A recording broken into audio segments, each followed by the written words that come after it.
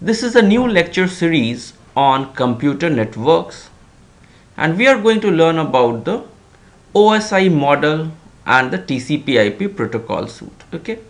So what will be the objective here is upon completion you will be able to understand the architecture of the OSI model from this lecture. Okay. So let's see what is the OSI model and understand the layers of the OSI model and their function. Okay so a OSI layer consists of many layers and we will look at their functions.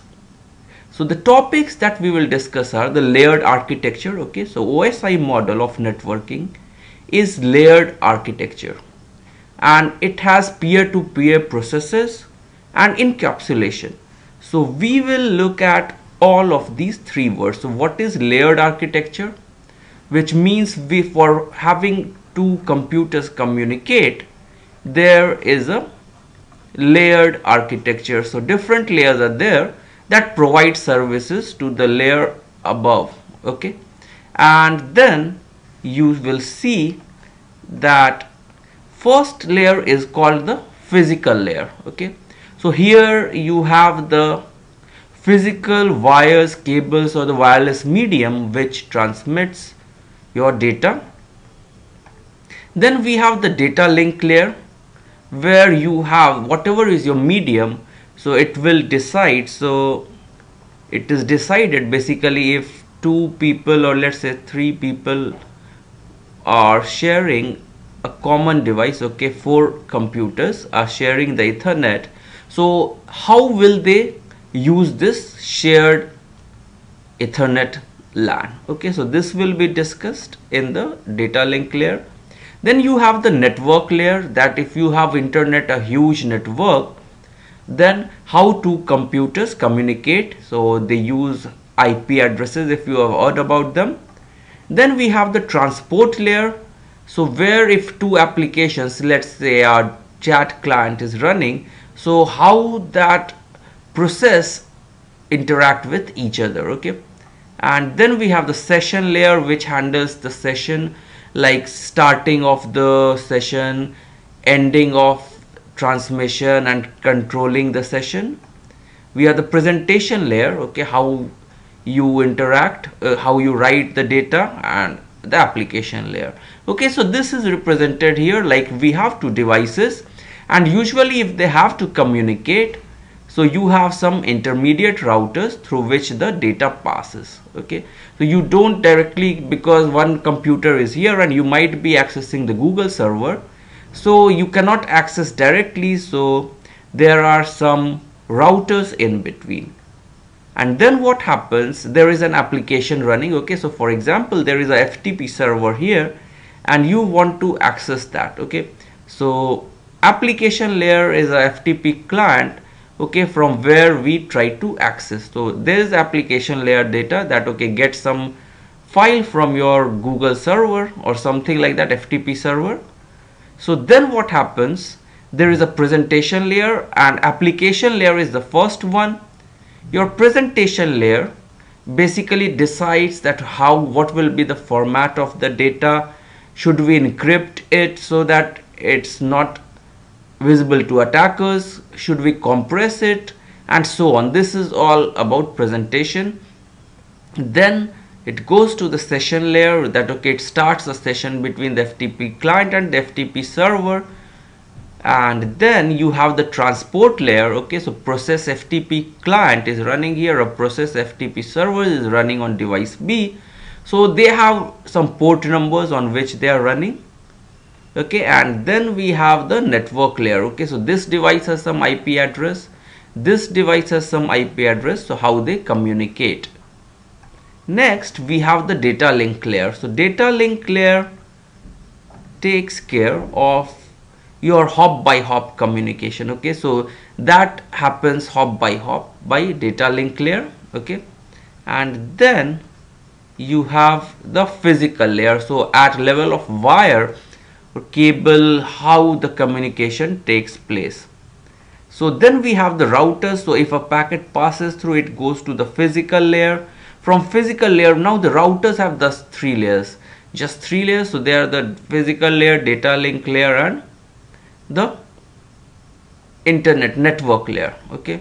So data link layer it passes through data link layer and then to the network layer like this and finally it reaches the destination. So it reaches there in the wire and it's the physical layer. It goes to the data link layer okay so how it happens?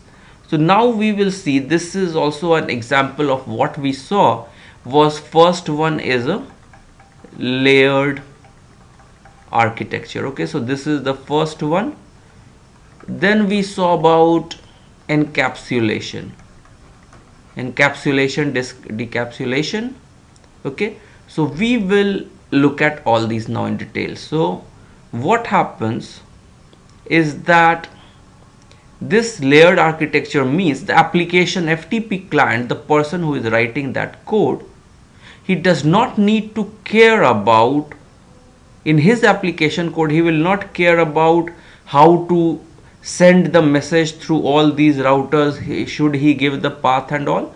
So each of these layer will take the help of the layer below it for sending message okay? So for example your transport layer it it does not care about how routing takes place okay? Because that is the work of your network layer. So it will just have an interface in the network layer where, where it will say that okay send some packet okay to the device B which has IP address so and so and the port number so and so okay and then the packet will reach there. It does not need to care about how routing is going to be done. The network layer then depends upon the data link layer. So data link layer is a provider of the service of how hop by hop the data goes on okay how this channel will be allocated to whom and so on that is done by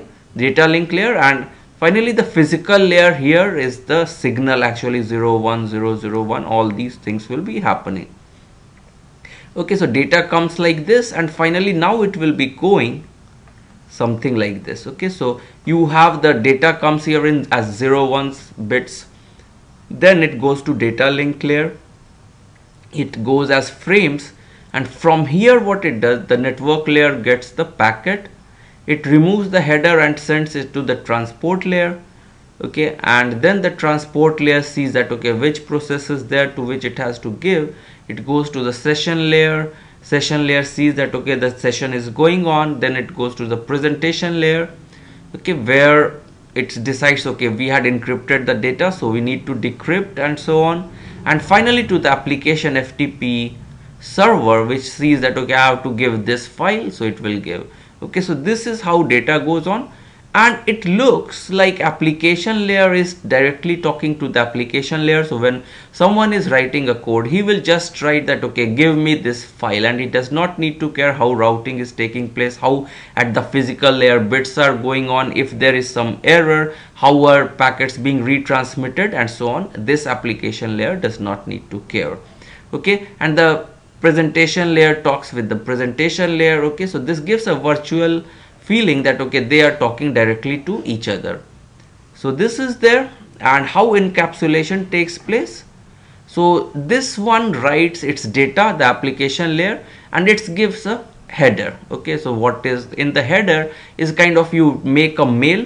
Okay so you have a write a postal mail and then you give a header that okay this is from so and so and I'm trying to send it to so and so in city XYZ okay? So this is there so header tells the data is the content.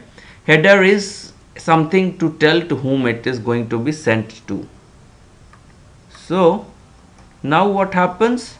Your data is there. This whole thing now becomes the data plus the header of application layer becomes the data of the presentation layer. So whatever is there it becomes the data of the presentation layer and it adds its own header.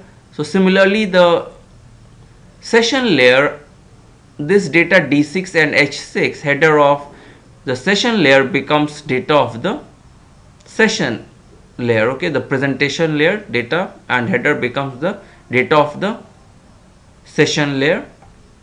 Then it becomes the data of the network layer it adds its own header okay? So this h4 will tell that okay source so this is the transport layer okay? So it adds source ip and it adds the source port. Then what happens?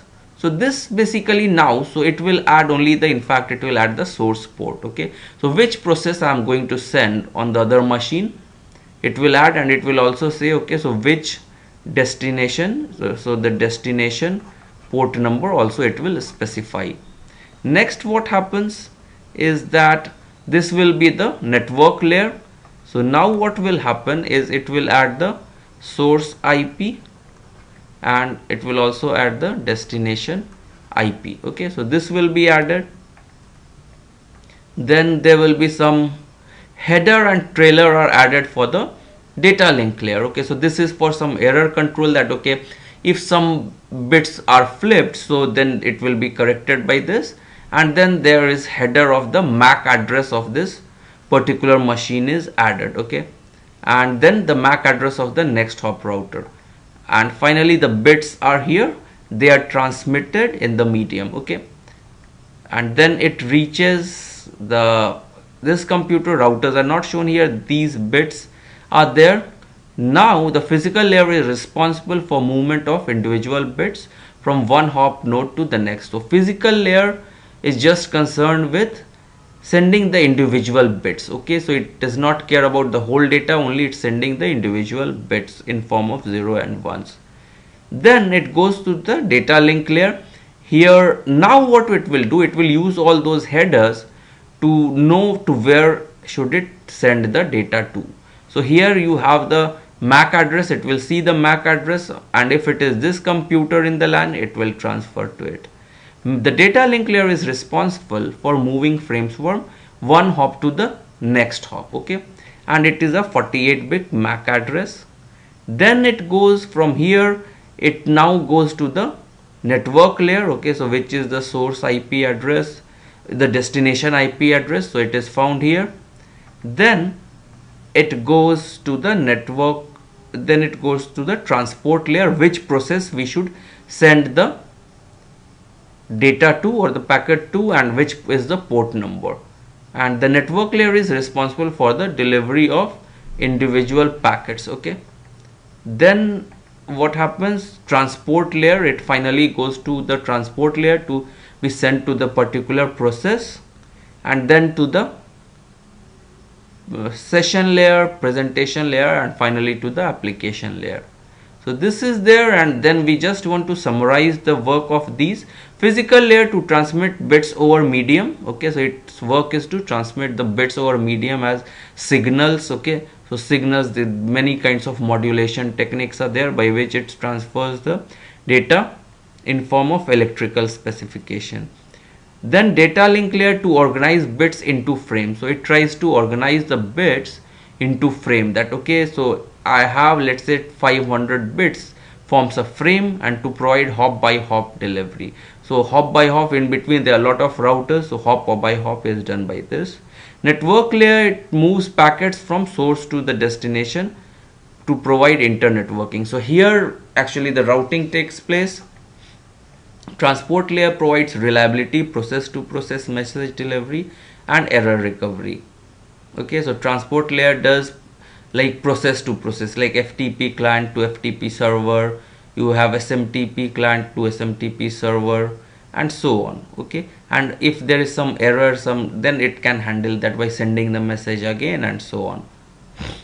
And then session layer to establish manage and terminate sessions that okay like in TCP first SYN packet is sent but this is OSI layer of course.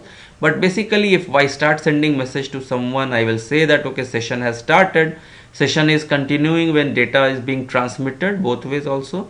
And then finally it ends okay session ends. Presentation layer is there for encryption compression of data for translation okay and application layer finally allows network access to network resources like FTP applications and so on. Okay so this is there for your OSI layer okay?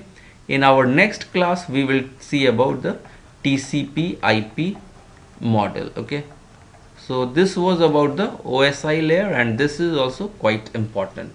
And we learnt about what so three things that the encapsulation encapsulation means whatever was the data and header from above layer it became data for the lower layer okay like that. And there was a layered architecture.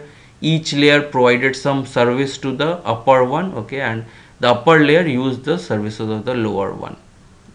So this was there. I hope you understand this. So next lecture we will learn about the tcp ip model. Thanks a lot